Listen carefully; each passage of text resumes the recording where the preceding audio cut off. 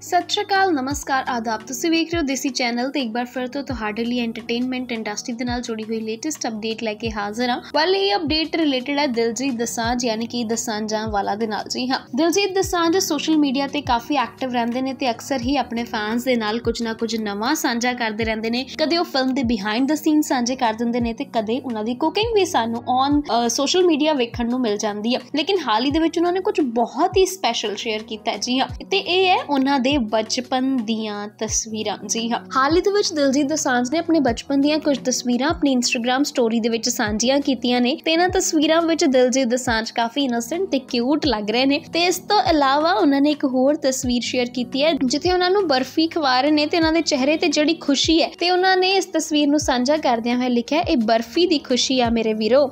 ਇਸ ਤੋਂ ਇਲਾਵਾ ਇੱਕ ਹੋਰ ਤਸਵੀਰ ਸਾਂਝੀ ਕੀਤੀ ਹੈ, ਜਿਸ ਦੇ ਵਿੱਚ ਉਹ ਪੋਜ਼ ਦਿੰਦੇ ਹੋਏ ਨਜ਼ਰ ਆ ਰਹੇ ਨੇ ਤੇ ਉੱਥੇ ਉਹਨਾਂ ਨੇ ਲਿਖਿਆ ਹੈ ਬੌਰਨ ਟੂ ਸ਼ਾਈਨ ਤੇ ਵਾਕਈ ਦਿਲਜੀਤ ਦੀ ਇਹ ਗੱਲ ਸੱਚੀ ਹੈ he is born to shine ਕਿਉਂਕਿ ਉਹਨਾਂ ਨੂੰ ਵਰਲਡ ਵਾਈਡ ਲੋਕੀ ਬਹੁਤ ਜ਼ਿਆਦਾ ਪਸੰਦ ਕਰਦੇ ਨੇ ਤੇ ਉਹਨਾਂ ਦੇ ਗਾਣੇ ਕਈ ਰਿਕਾਰਡ ਵੀ ਬਣਾਉਂਦੇ ਨੇ। ਉਹਨਾਂ ਨੇ ਆਪਣੇ ਗਾਣੇ ਦੇ ਵਿੱਚ ਵੀ ਕਿਹਾ ਸੀ ਕਿ ਪੈਸੇ ਪੂਸੇ ਬਾਰੇ ਸੋਚੇ ਦੁਨੀਆ ਜੱਟ ਪੈਦਾ ਹੋਇਆ ਬਸ ਸ਼ੌਣ ਵਾਸਤੇ। ਤੇ ਇਹ ਗੱਲ ਉਹਨਾਂ ਦੀ ਬਿਲਕੁਲ ਸੱਚੀ ਹੈ ਕਿਉਂਕਿ ਸੋਸ਼ਲ ਮੀਡੀਆ ਤੇ ਵੀ ਉਹਨਾਂ ਦੀ ਕਾਫੀ ਚੰਗੀ ਫੈਨ ਫੋਲੋਇੰਗ ਹੈ ਤੇ ਵਰਲਡ ਵਾਈਡ ਉਹਨਾਂ ਨੂੰ ਲੋਕੀ ਸੋਸ਼ਲ ਮੀਡੀਆ ਦੇ ਉੱਤੇ 14 ਮਿਲੀਅਨ ਤੋਂ ਵੀ ਵੱਧ ਲੋਕ ਫੋਲੋ ਕਰਦੇ ਨੇ, ਯਾਨੀ ਕਿ 1 ਕਰੋੜ 40 ਲੱਖ ਤੋਂ ਵੀ ਵੱਧ ਲੋਕ ਦਿਲਜੀਤ ਦਸਾਂਝ ਨੂੰ ਫੋਲੋ ਕਰਦੇ ਨੇ ਉਹਨਾਂ ਦੇ ਇੰਸਟਾਗ੍ਰam ਦੇ ਉੱਤੇ। ਇਸ ਤੋਂ ਇਲਾਵਾ ਉਹਨਾਂ ਦੀਆਂ ਐਲਬਮਸ ਕਾਫੀ ਜ਼ਿਆਦਾ ਰਿਕਾਰਡ ਬਣਾਉਂਦੀਆਂ ਨੇ, ਜਿਨ੍ਹਾਂ ਦੇ ਵਿੱਚ ਉਹਨਾਂ ਦੀ ਲਾਸਟ ਐਲਬਮ ਜਿਹੜੀ ਮੂਨ ਚਾਈਲਡ ਐਰਾ ਸੀ, ਉਸਨੇ ਕਈ ਰਿਕਾਰਡ ਤੋੜੇ। ਇਸ ਤੋਂ ਪਹਿਲਾਂ ਗੋਟ ਐਲਬਮ ਵੀ ਕਈ ਸਾਰੇ ਰਿਕਾਰਡ ਤੋੜ ਚੁੱਕੀ ਹੈ। ਆਉਣ ਵਾਲੇ ਸਮੇਂ ਦੇ ਵਿੱਚ ਉਹਨਾਂ ਦੀ ਘੋਸਟ ਐਲਬਮ ਆਉਣ ਵਾਲੀ ਹੈ, ਜਿਸ ਨੂੰ ਲੈ ਕੇ ਦਰਸ਼ਕ ਬਹੁਤ ਜ਼ਿਆਦਾ ਐਕਸਾਈਟਿਡ ਨੇ। ਫਿਲਮੋਗ੍ਰਾਫੀ ਦੀ ਗੱਲ ਕਰੀਏ ਤੇ ਦਿਲਜੀਤ ਦਸਾਂਝ ਆਉਣ ਵਾਲੇ ਸਮੇਂ ਦੇ ਵਿੱਚ ਸਾਡੇ ਵਾਸਤੇ ਫਿਲਮਾਂ ਕਈ ਸਾਰੀਆਂ ਲੈ ਕੇ ਆਉਣ ਵਾਲੇ ਨੇ, ਜਿਸ ਦੇ ਵਿੱਚ ਅਮਰ ਚਮਕੀਲਾ ਦੀ ਬਾਇਓਪਿਕ ਚਮਕੀਲਾ ਸ਼ਾਮਿਲ ਹੈ। ਜਿਸ ਫਿਲਮ ਦੇ ਵਿੱਚ ਪਰਿਨੀਤੀ ਚੋਪੜਾ ਨਾਲ ਸਕਰੀਨ ਸਾਂਝੀ ਕਰ ਰਹੇ ਨੇ ਤੇ ਫਿਲਮ ਨੂੰ ਡਾਇਰੈਕਟ ਕਰ ਰਹੇ ਨੇ ਇਮਤਿਆਜ਼ ਅਲੀ। ਜੋ ਕਿ ਬਾਲੀਵੁੱਡ ਦੇ ਬੈਸਟ ਡਾਇਰੈਕਟਰਸ ਦੇ ਵਿੱਚੋਂ ਇੱਕ ਨੇ। ਵੈਲ ਫਿਲਮ ਦੀ ਸ਼ੂਟਿੰਗ ਨੂੰ ਲੈ ਕੇ ਕਾਫੀ ਚਰਚਾ ਬਣੀ ਹੋਈ ਹੈ ਤੇ ਫਿਲਮ ਦੇ ਬਿਹਾਈਂਡ ਦ ਸੀਨਸ ਦੇ ਵਿੱਚੋਂ ਵੀ ਦਿਲਜੀਤ ਦਸਾਂਝ ਨੇ ਕਈ ਸਾਰੀਆਂ ਤਸਵੀਰਾਂ ਸਾਂਝੀਆਂ ਕੀਤੀਆਂ ਨੇ ਤੇ ਆਪਣੀ ਚਮਕੀਲਾ ਵਾਲੀ ਲੁੱਕ ਵੀ ਦਿਲਜੀਤ ਦਸਾਂਝ ਨੇ ਸੋਸ਼ਲ ਮੀਡੀਆ ਦੇ ਜ਼ਰੀਏ ਰਿਵੀਲ ਕੀਤੀ ਸੀ, ਜਿਸ ਨੂੰ ਦਰਸ਼ਕਾਂ ਨੇ ਕਾਫੀ ਪਿਆਰ ਦਿੱਤਾ। ਆਉਣ ਵਾਲੇ ਸਮੇਂ ਦੇ ਵਿੱਚ ਦਿਲਜੀਤ ਦਸਾਂਝ ਦੇ ਕਈ ਸਾਰੇ ਪ੍ਰੋਜੈਕਟਸ ਰਿਲੀਜ਼ ਹੋਣੇ ਨੇ। ਉਹਨਾਂ ਵਿੱਚ ਫਿਲਮ ਜੋੜੀ ਵੀ ਸ਼ਾਮਿਲ ਹੈ, ਜਿਸ ਦੇ ਵਿੱਚ ਉਹ ਨਿਮਰਤ ਖੈਰਾ ਦੇ ਨਾਲ ਨਜ਼ਰ ਆਉਣਗੇ, ਜੋ ਕਿ ਇਸੇ ਸਾਲ ਰਿਲੀਜ਼ ਹੋ ਸਕਦੀ ਹੈ।